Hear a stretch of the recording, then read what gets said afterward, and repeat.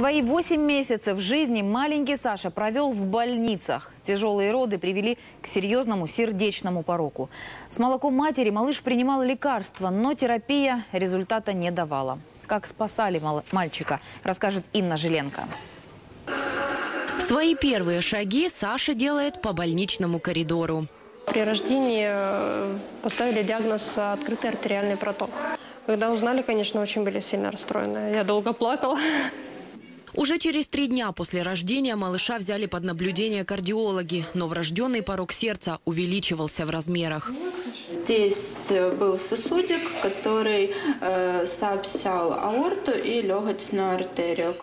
Отверстие диаметром 3,5 миллиметра в его крохотном сердечке врачи пытались закрыть с помощью медикаментов, но тщетно.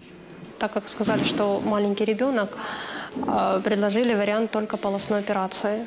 О том, чтобы положить своего долгожданного малыша под скальпель хирурга, родители даже думать не хотели. Но откладывать лечение было нельзя. Значительно ухудшает его качество жизни, ухудшает его самочувствие и в последующем приводит э, к ранней смерти.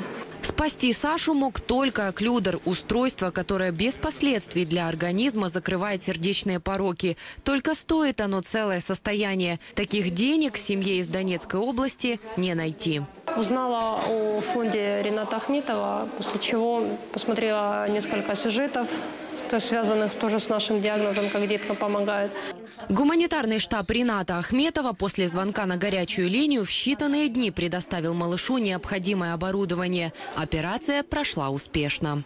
Это полностью здоровый человек, э, пройдя небольшой курс реабилитации вот по месту жительства, он полностью забывает о том, что когда-либо у него была операция на сердце. В рамках программы «Здоровое сердце» штаб Ахметова оказывает помощь в проведении коррекционных операций по закрытию порока. С начала года оклюдерами обеспечили уже 11 деток из Донецкой, Луганской, Харьковской и Запорожской областей.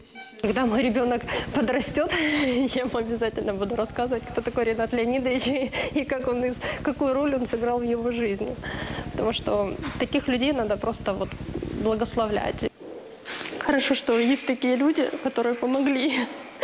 Последнее наставление врача и Саша готов ехать домой, играть с папой. Как только он слышит, что заходит папа, дверь открывается, все, ребенок бегом, ползком к папе. Они бегают по квартире, прятки играют. Мы бы без фонда, наверное, не справились. Фонду безумное спасибо. Инна Жиленко, Евгений Якунин. Для сегодня канал «Украина».